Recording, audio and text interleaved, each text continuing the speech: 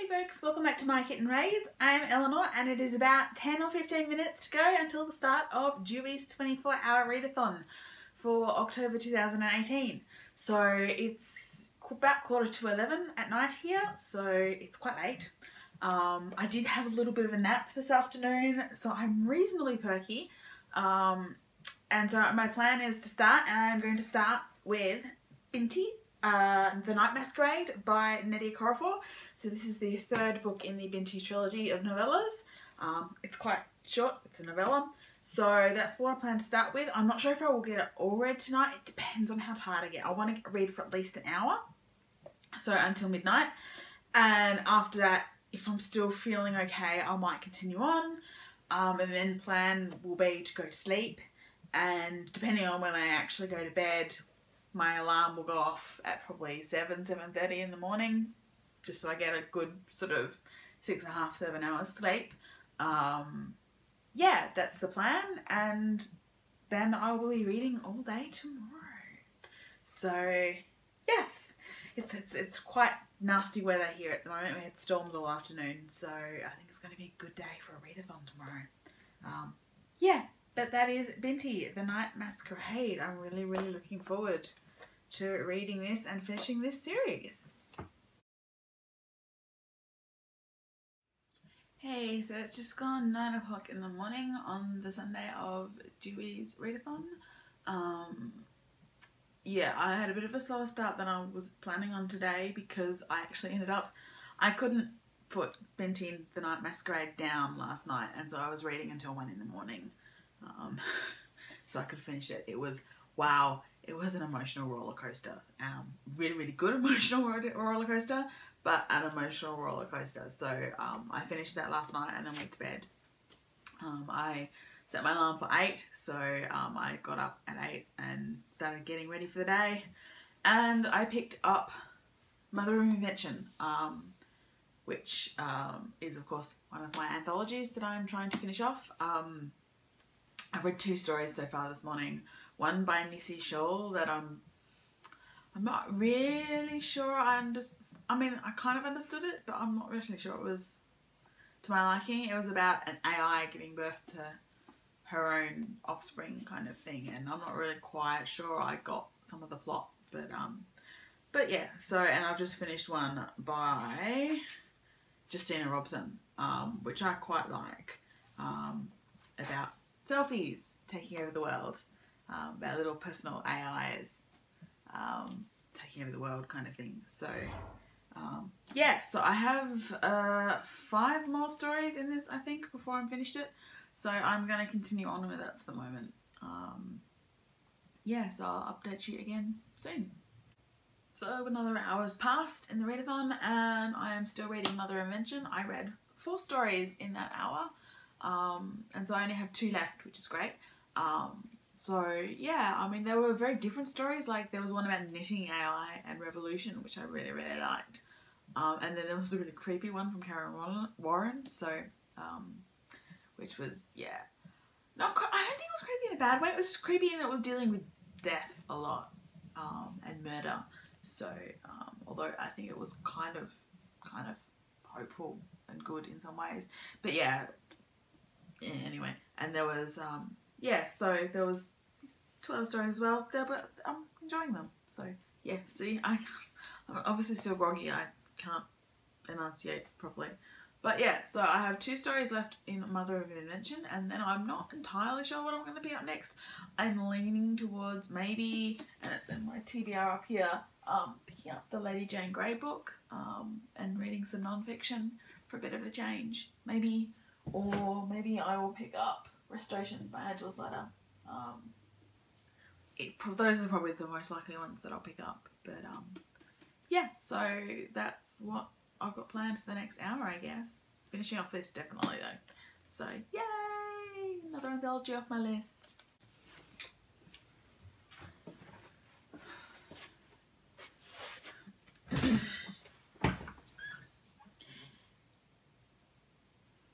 Hey, so it's 11 o'clock, which means there's 12 hours to go, I think? Yes, we're halfway through. So, yay! Anyway, as expected, I finished Mother of Invention, um, edited by Rivqa Rafael and Tansy Rayner Roberts. Um, yeah, so it was a really good anthology, actually. Um, uh, one I'm probably going to want to read again um, and take notes because um, there's some really interesting quite stories and perspectives on artificial intelligence, which is really the whole point of it. So, um, but yeah, so finishing that, I'm really pleased. Um, and then I picked up Lady Jane Grey, A Tudor Mystery by uh, Eric Ives.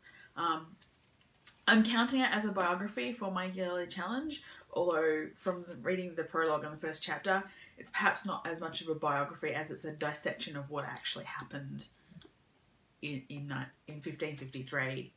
Um, you know, when Edward VI died and the crisis happened but still, it's most it's mostly focused on Jane, so I'm including it as a biography. Um, she's she's one of my favourite historical characters, probably my favourite historical character, um, historical person. Um, I find her so I found her intriguing since I was a kid. Um, so yeah, I'm reading that at the moment. So I don't know whether I'll read it all in one chunk. Um, it's less than 300 pages actually, so it's hopefully not going to take too long, but it is quite how do I put it? It's non-fiction, which means it's naturally quite dense, even though it's actually really. Like even just reading that first little thirteen pages, it's quite evocatively told. So, um, so I might have to break it up with something else. But for the moment, I'm quite happy reading Lady Jane Grey. So I guess I'll see you all again at noon. So whoops, the sign of a good book is you get a bit lost in it. Um, and it's actually about quarter past 12. I've missed my 12 o'clock check-in because I was busy reading Lady Jane Grey.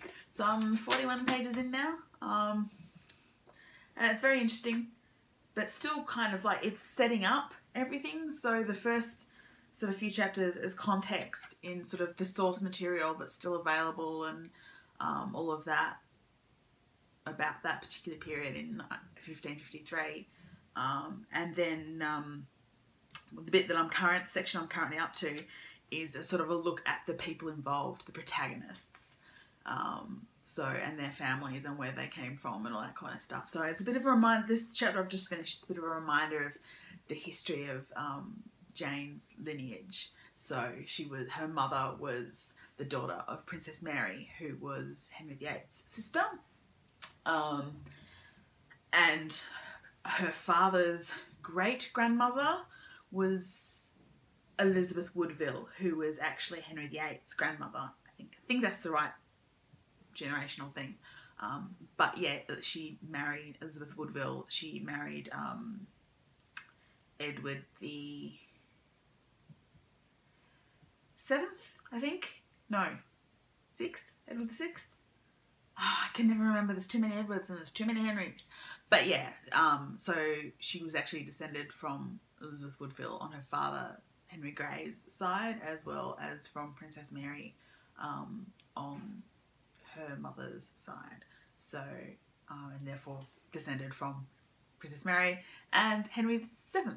So, um, yeah. But it's a bit good reminder of, of the genealogy because I can never keep the genealogy straight so I can never keep dates straight either. So I'm sort of really trying to press it into my mind. It was 1553, 1553. So um, was the crisis. But yes, so I am enjoying it.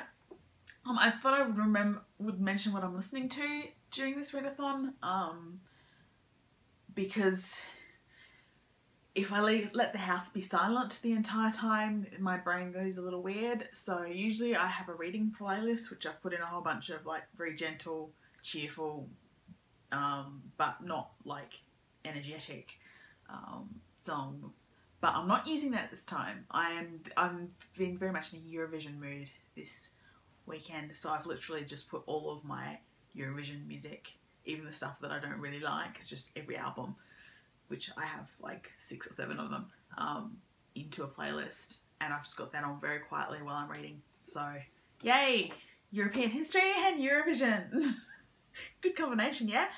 But yeah, so that's where I'm up to, and because I'm so into it, I'm going to keep reading this. So, I mean, I keep meaning to think that I should read a novel, but I'm enjoying this, so I may as well keep going. Um, and because I, I, would love to actually finish it today. It is like the actual, if you take out all like the, um, you know, appendices and, and indexing and everything, it's only like 293 pages. So if I'm 41 pages through, it's, you know, it's a fairly short sort of biography slash history book. So, um, yeah, but that's where I'm up to. So it's just gone one o'clock. It's 10 hours to go in the readathon. Still proceeding steadily through uh, Lady Jane Grey. Um, I'm at the moment I am up to page 62. Um, so it's sort of it's a, it's sort of slow going page wise, but it's still keeping my attention. So I'm going to continue with it. Um, the slightly odd thing that's really fun is I've not really been my appetite's not been great. So I bought all these snacks. I've not really eaten many of them, although this hour I did actually manage some crisps and some oh, um, raspberries. So that's you know, raspberries vaguely healthy, which is pretty much the only healthy thing I've probably eaten all day. But um, been drinking a lot, but only like Coke. So I should probably actually have some water just to calm down the level of sugar in my system. But um, but yeah, so that's where I'm up to at the moment. Um, yeah, really enjoying reading about Jane Grey and her origins and her family and you know the context of her life. Include particularly at the moment, I'm reading a bit about well, a bit about, about her father, but there's also been a bit of discussion about her interest in academics. Um, which, you know, was not exactly ordinary for even a noble girl of the time. So, um, yeah, still going on that. Hey, so it's actually been a couple of hours since my last update. It's just gone three o'clock. Um, I've eaten a little bit, although still nothing hugely substantial. I just am not eating much today, that's all. Um, and I'm still reading Lady Jane Grey, A Tudor Mystery. Um, I am now up to pay, I've just finished page 113 so I'm a little over the third way through the actual text, um, not including all the stuff at the end of you know history book. But um, but yeah, I'm still really enjoying it. Um, it is slow going. I think non-fiction usually is a bit more slow going, and it is a rather large sized book, even if the type is quite big as well. So um, yeah, I'm just sort of continuing to make my way through.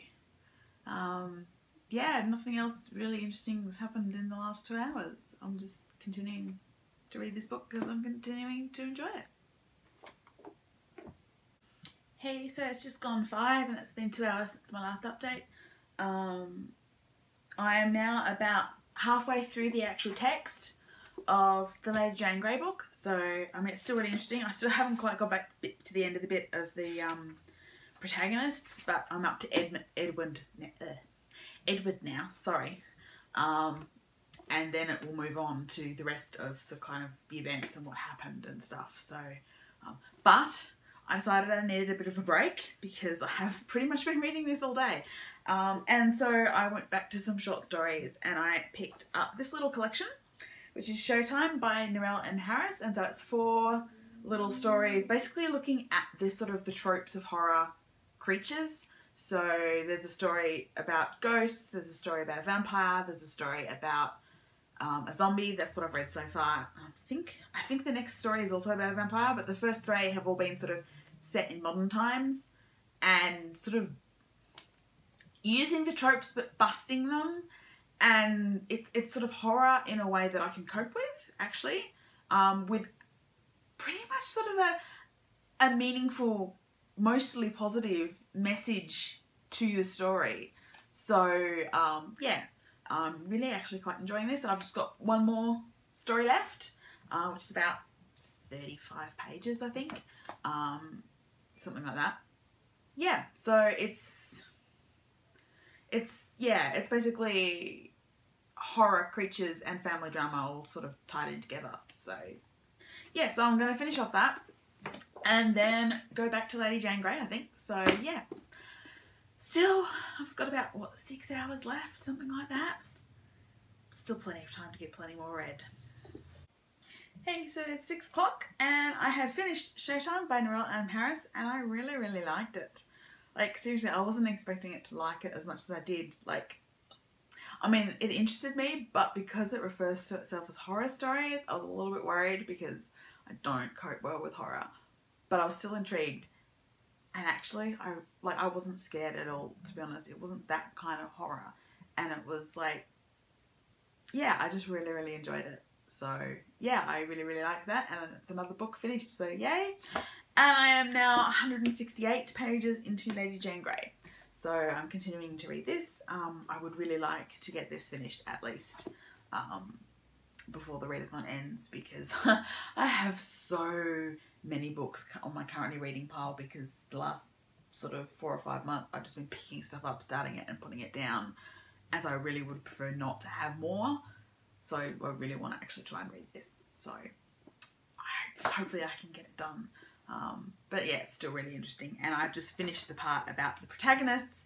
So we are now moving on to the 13 days um, between Jane being told she's queen and Mary routing her.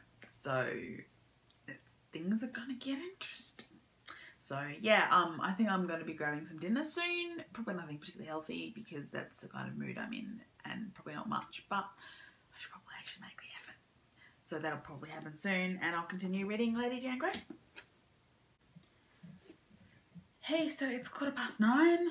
Um, I've got an hour and 45 minutes left of the readathon and I've just finished Lady Jane Grey, A Tudor Mystery by Eric Ives. It was a really good book. I'm a little disappointed that it took so long for me to read given that it's not exactly a long book, but that's just the nature of um, non-fiction, I guess. Um, so I've got an hour and three quarters left. Um, the moment I'm thinking I might read my Lumberjanes comic um, because my brain needs a little bit of break and that will give me something else to tick off. Um, and then I don't know, I might start some short stories again, I might start a novel, I might read another comic, I'm not really sure yet. But yeah, that's what I'm up to. Hey, so the Deweys 24 hour readathon for October 2018 is finished. Um, I read a total of 947 pages. Um, that included, I think it's like 23 short stories, a novella, a non-fiction book, and a comic, basically. So, yeah, I'm, I'm reasonably pleased with that. Um, certainly knocked a few things off off my TBR pile. So, just to recap what I actually read, I started off with Binti, uh, The Night Masquerade by Nnedi Okorafor, which is the third in the Binti trilogy of novellas. Um, it was great and emotionally draining and I couldn't put it down and I ended up being still awake at one in the morning. So that was a thing. And it also me, helps me to meet my goal this year of trying to finish series because now this series is finished. Yay! So there was that. And then this morning I finally sat down and finished off Mother of Invention, the anthology by Rivqa Rafael and Tansy Rayner Roberts. So this is the one about AI that have been created by women or by non-binary gendered people um, or the AI themselves are female or non-binary. Um, so I finished this off with I think it was the last eight stories um, and yeah really enjoyed it. It's a really good quality anthology but you know I expected that. It's 12th Planet Press and it's I've kickstarted their stuff before so I really recommend Mother of Invention. After that I started, I can find it, Woo. Lady Jane Grey, A Tudor Mystery by Eric Ives, and I did finish it today. Um, despite the fact that it's less than 300 pages of actual text, it took me most of the day to read because it's non-fiction. So, but it was a really in-depth sort of examination of what actual evidence we have around the crisis of 1553 when Eric, uh, sorry, not Eric, Edward the Seventh, Edward the Seventh, I think it's Edward the Seventh, passed away and left the crown to his cousin Jane. Um, so it looks at like the context. It looks like the looks the sort of source material we have. It looks at Jane herself and the other protagonists, and then the events that happened and what the timeline was and what people's motivations were. So really interesting. I also read Showtime by Narrelle and M. Harris, which was a surprisingly great read. I say surprisingly for me because um, it's horror stories with like horror monsters. And I'm not really great with horror, but actually these stories really worked for me. So, um, so it's a little collection of four short stories. Um, two there's two stories about vampires. There's one about a zombie, and there is one about ghosts, and they're all set in the modern world. So, um, and there's always a bit of a twist, um, and always something a bit hopeful, I think, or a lesson to be learnt, even if it's not hopeful. So, yeah, that was really good. I also read one graphic novel, which is Lumberjanes Volume 5 Band Together. Um, or I always love Lumberjanes. Um, it's usually by Noelle Stevenson, who wrote the first issue in this collection, but the rest of them, little the overall story arc, um, was actually written by someone else, uh, Watters, uh, Shannon Watters and Kat Leyh. Um, and the artist also, for the most of it, was different. Um, and I'm not really sure I like that particular art style. So that was, yeah, I still rated it four out of five, but because the story was really great and it was really cute and everything. But yeah, the art style was a bit not me. So I read that.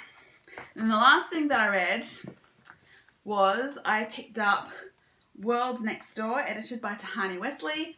This is an anthology, um, and I read like the first 11 stories. They're all very short stories. Um, it's big type because they're they're pretty much kids stories, so or middle grade stories. So little short stories about other worlds. So the going to Narnia or the worlds or the going to space or falling through something or finding something weird or you know all that kind of stuff. But it's your kids that are doing this. So um, yeah, it's otherworldly. So I'm actually really enjoying this. Like it's very very cute. There's a lot of really nice stories, really sweet stories. Um, and yeah, so I'm, like I said, 11 stories in, which is 86 pages, so I'm not quite halfway through yet. But yeah, so that was what I read for the Dewey's 24 hour readathon um, in this October 2018. As usual, I'm really looking forward to Dewey's again in April. Well, I hope I can participate in April. I may have someone coming to visit me in April, so it will depend on the dates. But 24 hour readathon, gotta love it. So um, yeah, that's knocked a few things off my TBR, knocked a few things off my challenge list, and put me back in front on my Goodreads challenge. So um, if you participated, let me know and let me know what you read. Um, if you've read any of these, let me know what you thought about them. And I'll see you all again really, really soon. Bye.